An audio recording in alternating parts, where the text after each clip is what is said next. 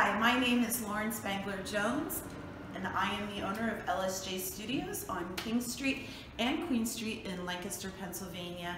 And I am super excited for Lancaster hosting the Governor's Awards for the Arts this year. This is an amazing opportunity not only for our galleries and artists, but for all members of the community as we've been creating many projects and events to celebrate this, this amazing event happening next week. One of the projects that I was lucky enough to participate in was a mask making class that we created for the entire community.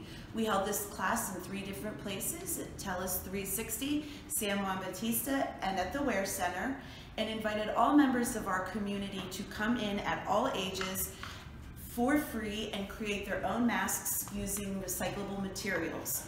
We are then asking these people to come and march in the parade of the arts that's celebrating the arts on October 22nd. It starts at Clipper Stadium at 1 o'clock, and we hope to see you there.